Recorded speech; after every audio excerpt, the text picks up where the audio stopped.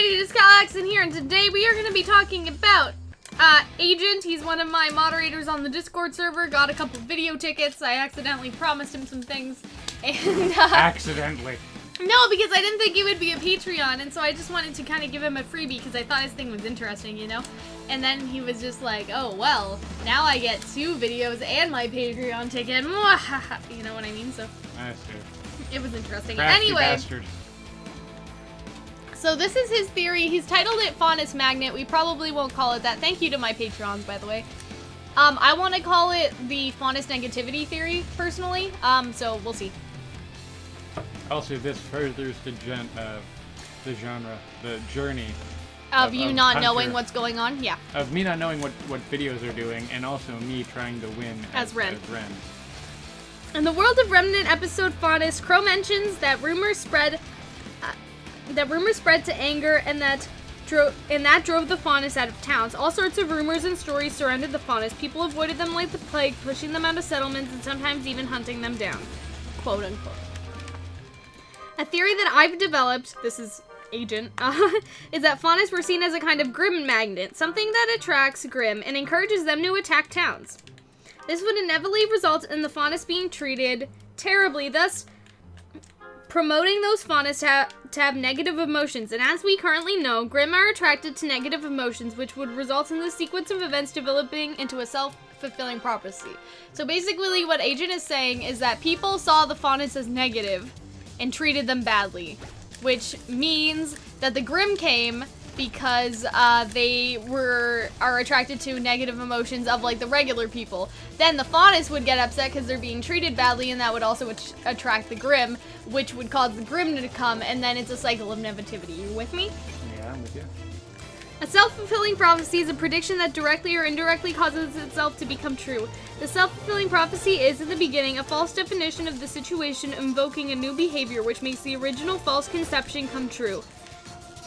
This, uh, species val- this species?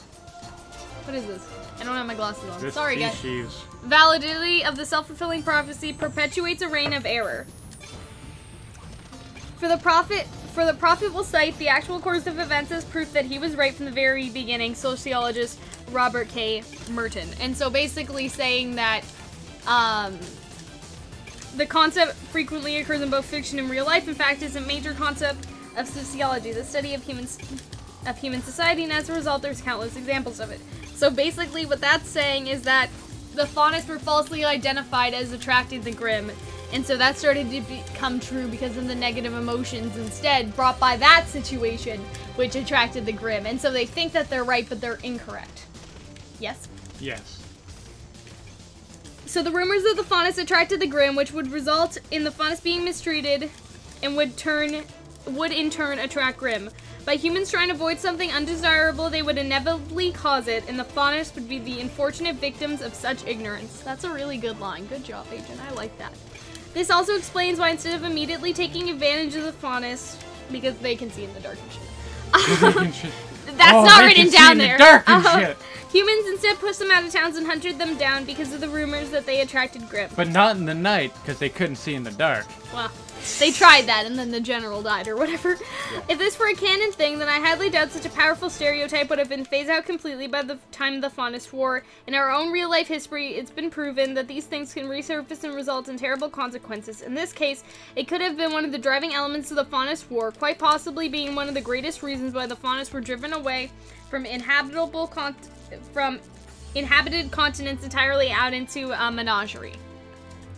This would perhaps give more of a meaning in the episode No Brakes, where, where the White Fang and Roman Torchwick attempt to attack Vale by attracting Grimm through the use of explosives set up in the underground train. Knowing Adam's pleasure of symbolism, having it been implied that the reason that the White Fang now were Grimm masks, they treated us as monsters, so we decided to don the face of them, as Blake says, uh, seems it seems that likely he played a part in processing uh, an attack to deliver more of his dark symbolism. They blamed us for attacking the Grimm, so we'll deliver on their belief by intentionally attacking them with Grimm for revenge. It definitely seems to fit Adam's thought process. I actually really like that. That just gave me chills.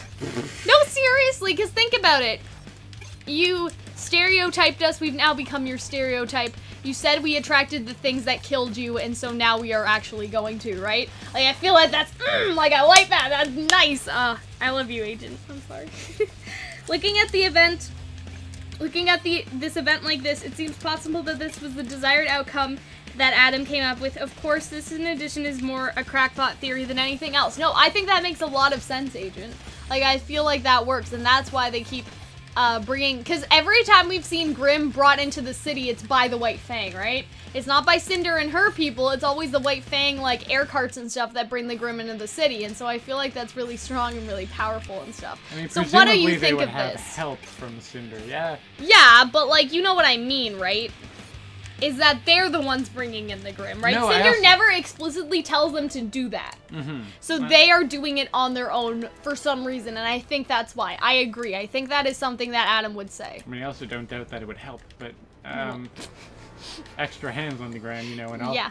Also, I feel like that this sort of meshes nicely with our Nuzlocke. Nuzlocke. Nuck nuck. Nuck Nuck. Yes, I. That's why Agent told me this because he's like, this kind. This sounds kind of ridiculous because like, unless humans were colorblind or something. So a couple people said that like, unless humans couldn't see pattern or something, the Grimm don't really look anything like the Faunus, like even the Imp Grimm. Um, and so Agent was like, here's my theory. And I was like, I like your theory better than I it- like my theory. Because it helps my theory. Well, no, I like it better than my theory, but it does fit in very well. You're right. It does. It would bring connotations but of. they know, could coexist, or only one of them's correct. you know what I mean? Um, or neither of them's correct, I guess. I didn't think about that. but you know what I mean, right? I think that this has very powerful symbolism. I wouldn't put it past Miles and Kerry to do this. It makes a lot of sense. The Grimm are attracted by negative emotions, so, like, I think the simplest answer, like, what is that called again? The simplest answer. Yeah, the simplest answer is usually like the answer, the one. correct answer. And so the simple answer is when the humans were being mean against the faunus, like monsters came. And then they associated that bad experience. It's like conditioning, right? They associated that bad experience with the faunus from now on, and that surpassed like generations and time and shit. I just I enjoy this. Like I really like this theory. It's one of the favorite things that we've ever covered on the channel. Like entirely. Um I don't know. Like how would you see this working out in the future though? Like do you think Adam would say that as part of a speech? I feel like that would be pretty something like ham-fisted. I like the idea of it just keeping it how it is now. Is like. I'd like Adam to say a line like that, but like without any context, you know what I mean? Like I I wouldn't want like a Faunus history. Like and then have Faunus history. It's Professor Adam. Yeah, and then have He the, gets you know what I mean, and then have like this entire like thing that Agent is saying, like just throw like exposition. You know what I mean? I would like Adam to say that one line so we can then interpret it. Does that make sense? I don't want someone to be like, back in the day when the faunus were treated badly, it became a self-fulfilling prophecy. You know what I mean? I don't want anyone to do that. As but As far I as I can tell, they've always been treated badly. But, I know. And I, But you know what I mean? Like, I don't want it to be like that. I don't want it to be like, here's all this information you now have to process. I want there to be one line, and I want fans to fight about what it means. This ain't your daddy's metaphor for racism. But you know what I mean, right? And so, Yeah, I would get you that. think it's better that way? I yeah, I agree with you that I think so. I think subtlety's always better. Yeah. And so I think as long as they're subtle, then it works, right? And even as it stands, it's quite subtle. So I, yeah, I enjoy it. Sometimes I wonder if the RWBY writing team stumbles on this more than anything, but I dig it. I know. I really, I just, I enjoy this. You know, like I just, I enjoy my life. I enjoy Nice making these videos. You know, I just, I enjoy this theory crafting that we have going on, especially in my Discord chat lately, because like, you guys are so creative and you think of so many cool things. You're way more involved. I like how these people pay us and then they're more involved than I am. Well, it's okay. Here to show up.